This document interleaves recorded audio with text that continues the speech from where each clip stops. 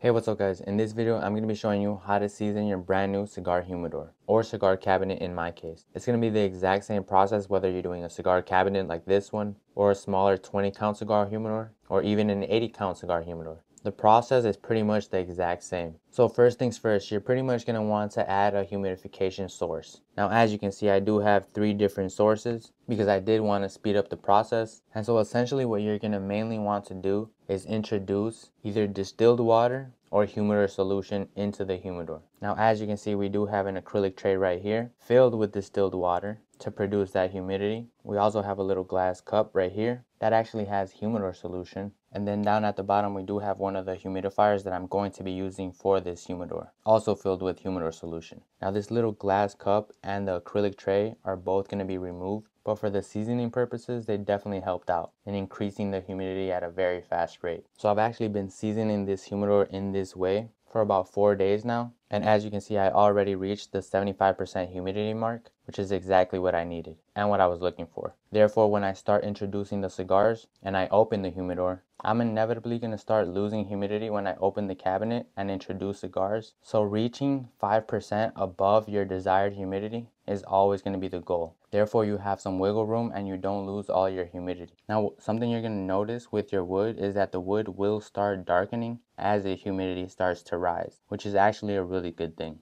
And so overall, a little recap, if you're looking to season your humidor, what you're going to need to do is introduce a humidification source. This can come in the form of the humidification pack. It can come in the form of humidifiers like the one I have down here. Or you can introduce your own trays and add distilled water and that'll actually season your humidor at a very fast pace. And honestly, that's pretty much it. You're going to introduce your humidification source. You're going to wait until the humidity reaches 5% above your desired humidity. And once that happens, you're pretty much ready to start introducing your cigars. If you found this video helpful, make sure you give it a like, consider subscribing, and I'll see you on the next one.